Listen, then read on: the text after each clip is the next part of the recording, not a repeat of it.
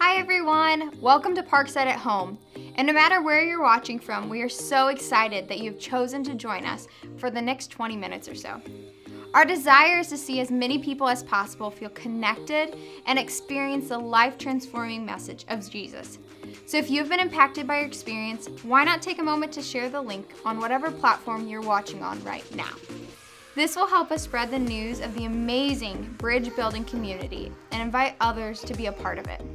Everything we do at Parkside and in our community is because of your generosity.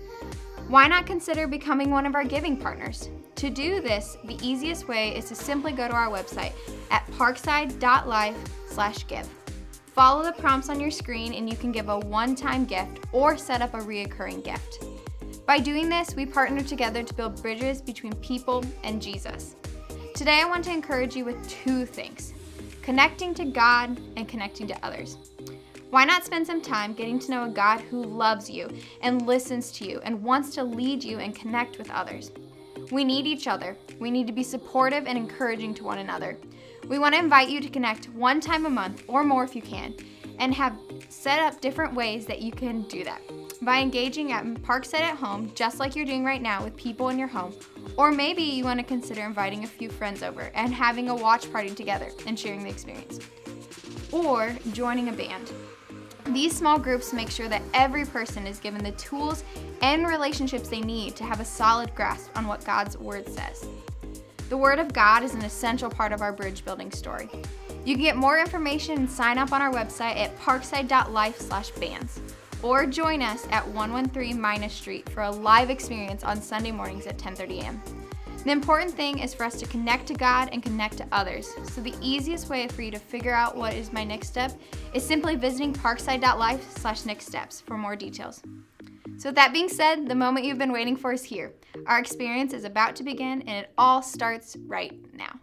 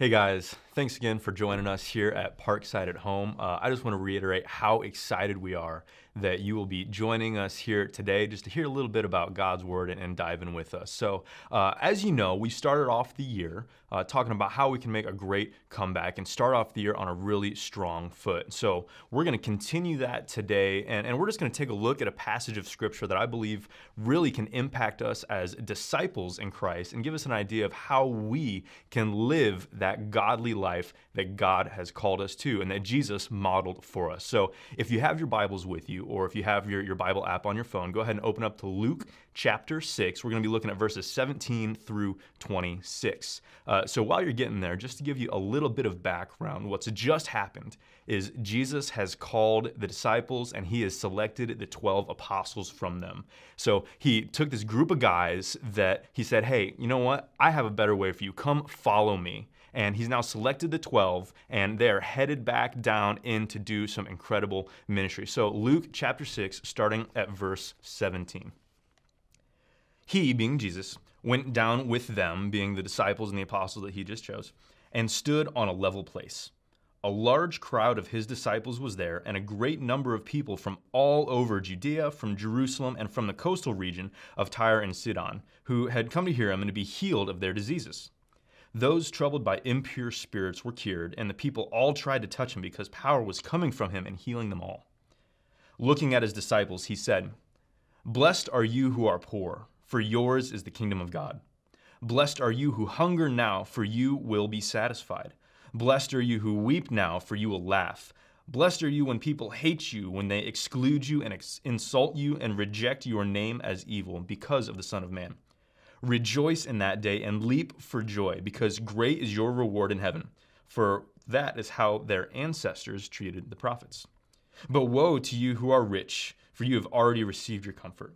Woe to you who are well fed now, for you will go hungry. Woe to you who laugh now, for you will mourn and weep. Woe to you when everyone speaks well of you, for that is how their ancestors treated the false prophets.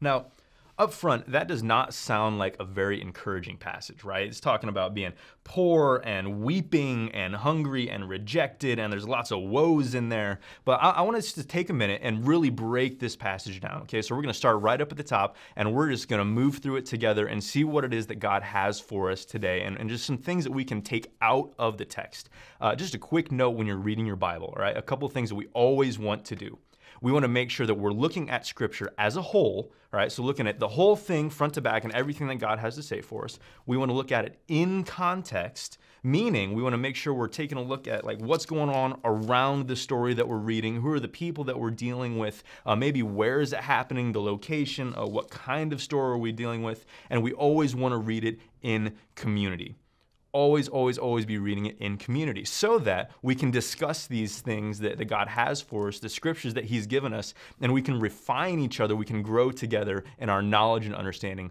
of God's Word. So, starting right up at the top, uh, it says in verse 17 that Jesus went down with them and stood on a level place. Now, I want us to just stop there for a second. Jesus takes the disciples and goes with them. Jesus absolutely could have gone by himself down to these people and, and started healing and doing incredible ministry, but he brought people alongside him to do the ministry that God had called him to do. So, we as disciples, right, if we're looking at Jesus as the model of how we're supposed to live our lives and, and really live out what God has asked us to do, we need to make sure you're doing it with others. Remember, in community. So, he went down with them and stood on a level place. And all of these people are coming around to hear him, to be healed, to experience what it is that Jesus has to offer them. Uh, it says they were troubled by impure spirits and they were cured, and all the people tried to touch him because power, notice, was coming from him and healing them all. So, not only is Jesus doing this ministry with the disciples, the people that he had just called out, that he said, hey guys, come along with me, let's do this together, it's costing him something. The power is going out from him. So, first couple of things I want us to think about is the fact that we need to be disciples in community. We need to disciple with others, do ministry with others, be in the Christian life with others. And to be honest, it's going to cost us something. When we're really diving into the life that God has called us to, it does not come free. You know, Jesus paid the ultimate price for us on the cross by dying and, and removing the sin that we have so, struggled with for so long and the things that have separated us from God. He paid that price. But guys, just because He paid the ultimate price, right, does not mean that our life in Him should be free it's going to cost us something and it's going to be difficult. It's going to require something of us. And, and, using that and kind of keeping that in mind, let's take a look now at all of these blessed and woes that he's been talking about. So he mentions that, you know, blessed are the poor, blessed who hunger, blessed who weep, and blessed are you when people hate you and reject you, and we should rejoice in that. That word blessed, now, it's not like, you know, hashtag blessed we have today. It's a little bit different. It's deeper than that. It's an understanding and a knowledge of the fact that God is directing and guiding everything that we do as believers. It's a deep satisfaction and understanding of God's sovereignty and His providence in our life. Now, when we're blessed and we have that understanding and we know that God is with us and for us no matter what, man, that is an incredible thing. It fills us with this joy and can give us this joy that is so complete and so full and so just just incredible that it is not dependent on, it is not contingent upon any kind of circumstances or events that are happening in our lives. It is dependent solely on God. And that's a good thing because God never changes. He is always for us and with us no matter what. So when we're living a blessed life, right, and we're actually truly blessed, like Jesus says here, blessed are you. You have this understanding and this knowledge that, man, God is with me and nothing's ever going to take that away. The book of Romans, Paul says that there is nothing that can separate us from the love of God that is in Christ Jesus our Lord. And he goes off and lists a whole bunch of different things. He says, no sickness, no height, no depth, no angel, no demon, no, not even death itself can separate us from the love of God that we have in Jesus. That is what it means to be blessed. So let's look at this first phrase here. Blessed are you who are poor, for yours is the kingdom of God. Now, Jesus, when, when he gives this message, and we kind of hear this in other places, we, we hear about it in, in Matthew, right? Uh, we can understand and we look at the whole context and the whole of Scripture, right? Remember, when we look at it as a whole, we can see that he's not necessarily talking about material goods here. Not materially poor, but spiritually poor. And this word poor that we have in the original language is a deep, deep poverty like severe poverty, someone that is utterly helpless. So, blessed are the poor, blessed are the utterly helpless, utterly spiritually helpless, for yours is the kingdom of God. Now, that might sound strange, but the great thing about this is if we are completely, utterly helpless, that means we need to rely on somebody else for everything we can rely on God for everything. When we recognize and realize our own spiritual poverty and the fact that we can do nothing apart from Christ and that we have no life outside of Him, man, that's an incredible thing. And that is the building block. That is the, the very beginning, the foundation of this faith that we can have in Christ. And it's, it's kind of interesting. I want to circle back just a little bit here. In verse 20, uh, he starts it off by saying, looking at his disciples, Luke does, he said, Blessed are you who are poor. Jesus is addressing the disciples here.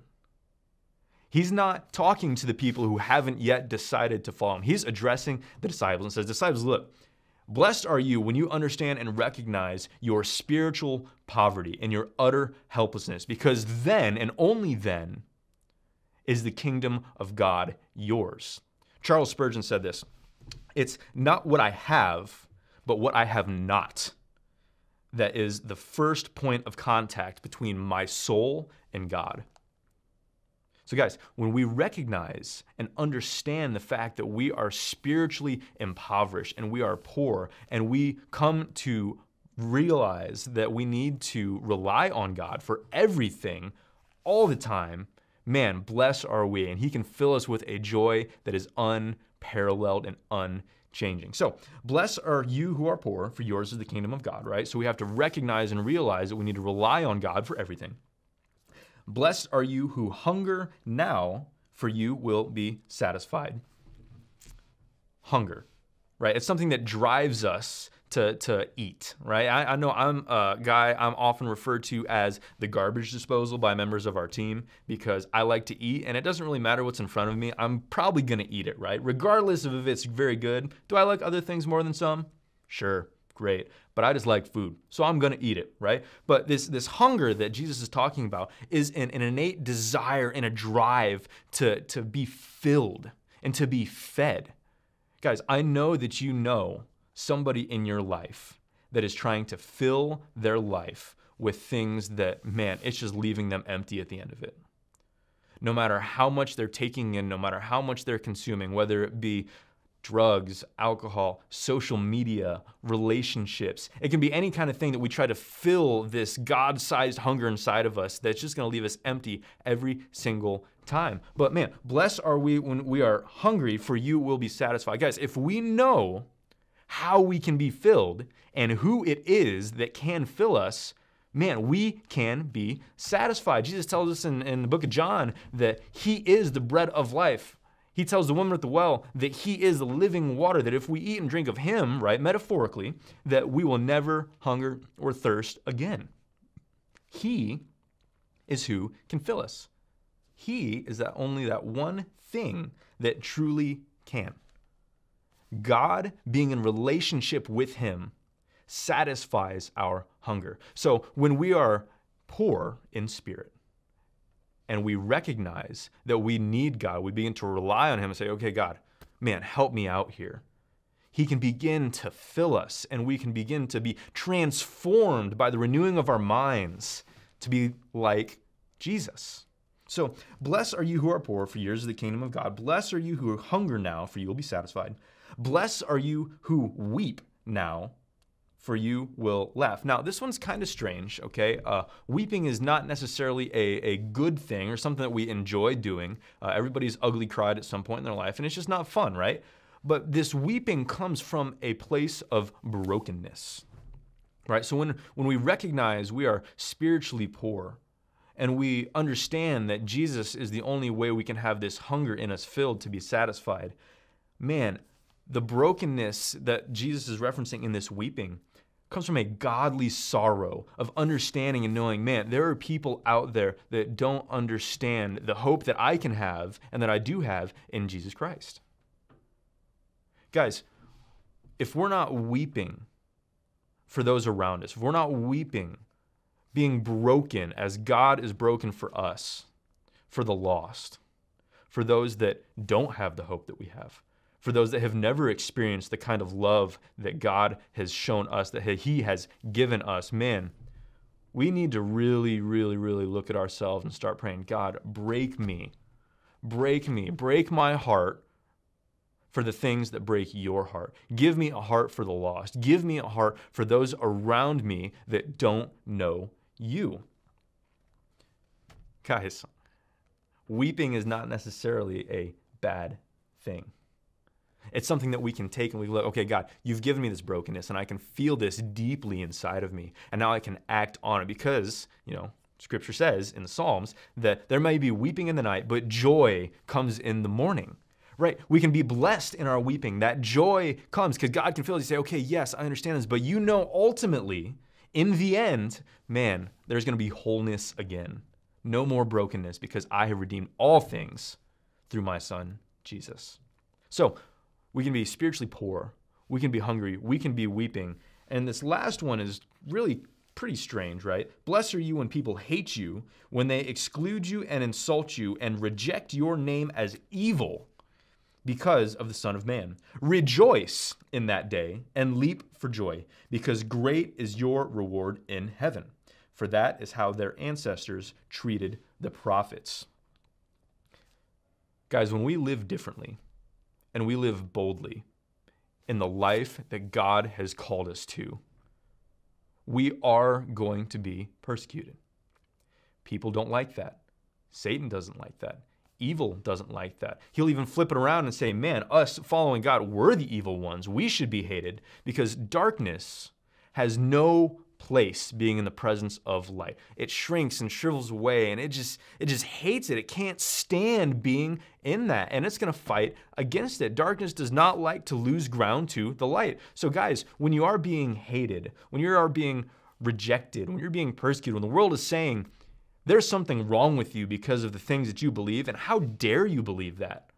How dare you? You you have no reason saying that I should live this way or God has a better way for me. You don't know any better. Guys, that's nothing new. Jesus said, Man, don't worry. The world hated me first. They're going to hate you, and that's okay. We've become more concerned in the church with being liked by our neighbors than we are with loving our neighbors. Guys, we've flip flopped it.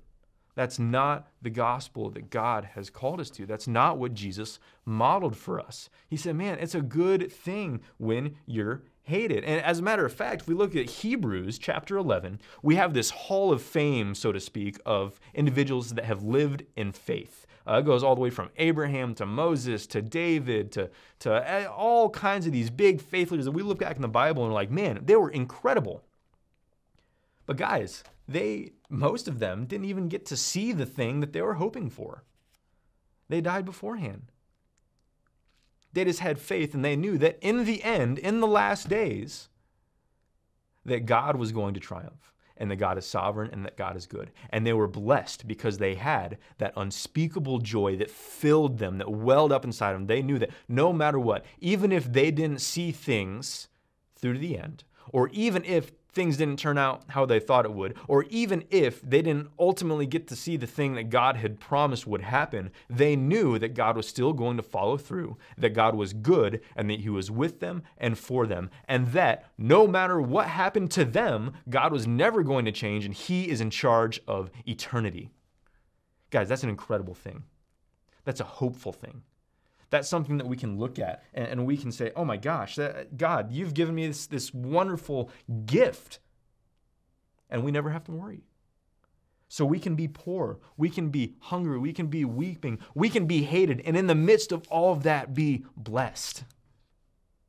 We can be blessed. We can live this life of infectious joy.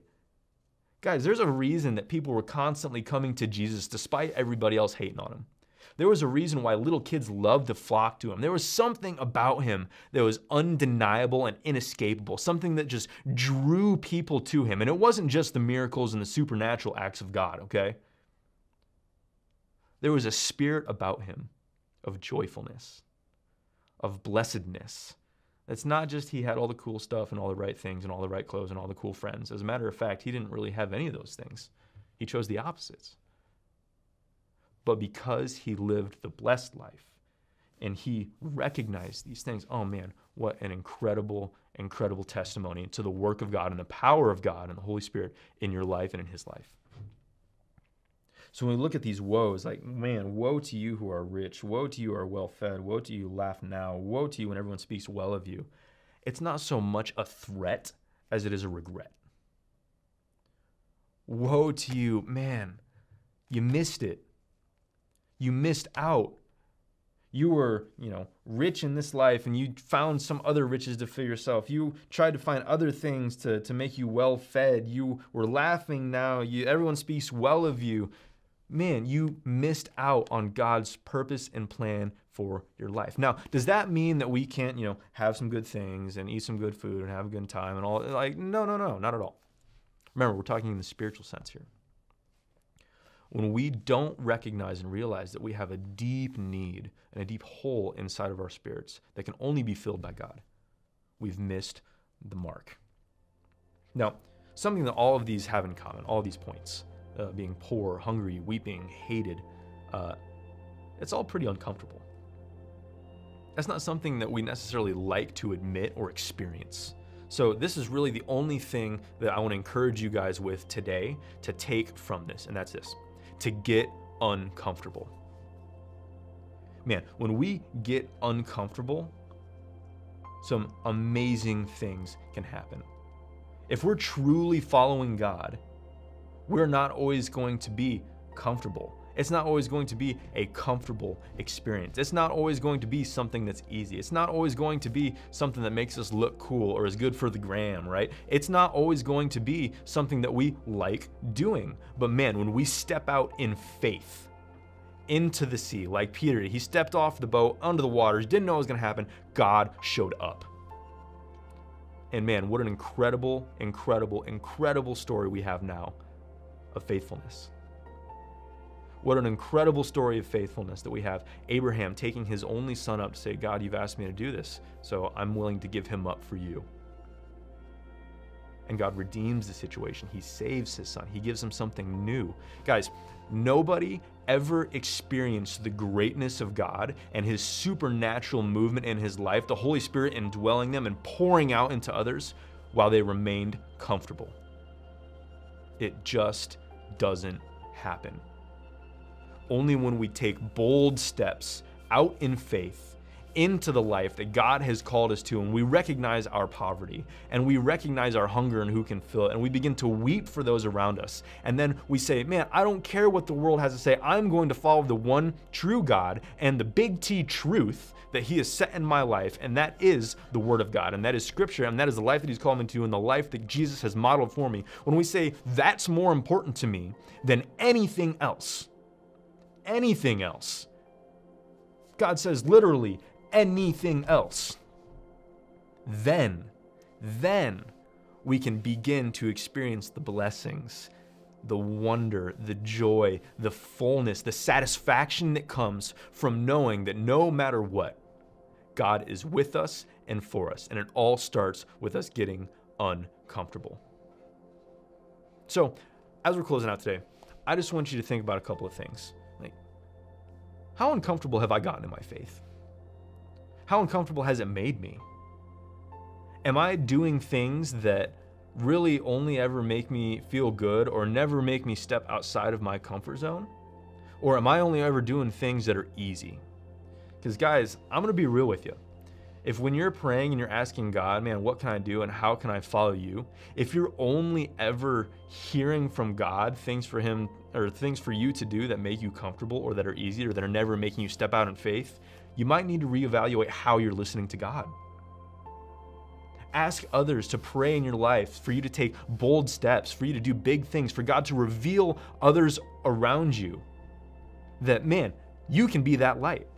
You can be the one that shows them the poorness in the spirit that they have and how they can be filled, and why their weeping can be turned to joy. It is an incredible thing to know and be known by God.